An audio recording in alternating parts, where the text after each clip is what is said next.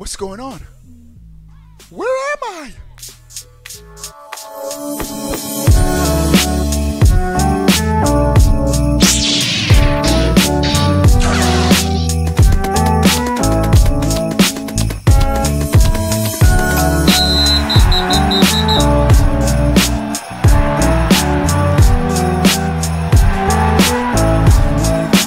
What is going on, everybody?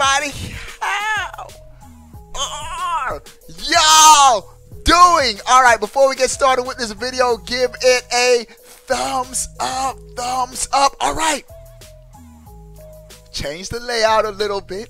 We got more changes coming for the new year. Big things coming to the channel. Um, we're, we're getting to the news. We're getting to the news, but we're gonna have a big giveaway starting in the new year. Make sure you're subscribed. Make sure you're following me on Twitter for the news. But let's get to this news item first. Did I tell y'all to give it a thumbs up? I forget. Come on, come on. My thumb's matching this thumb. Thumbs up. All right, bro.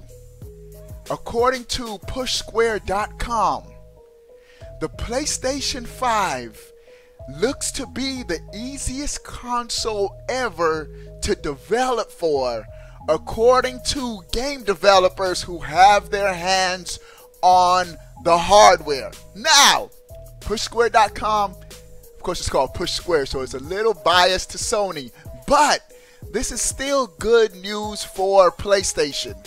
It's important to have a console that's developer friendly. Case in point, the PlayStation 3. PlayStation 3, Sony was just kicking themselves in the behind.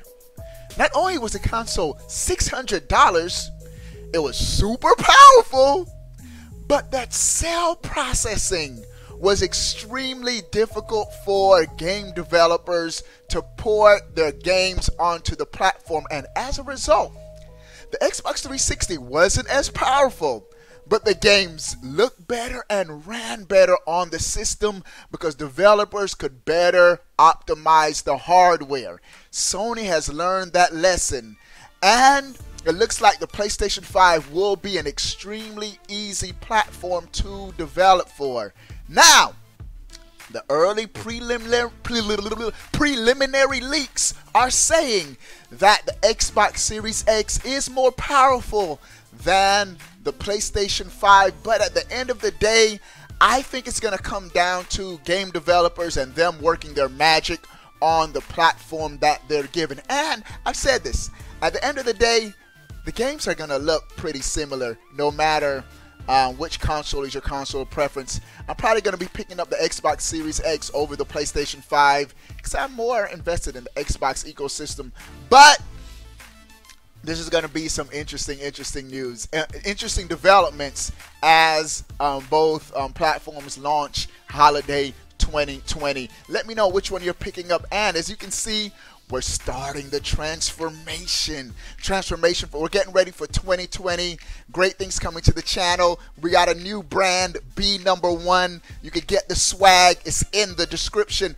But uh, two two other things. You want to join a dope gaming community?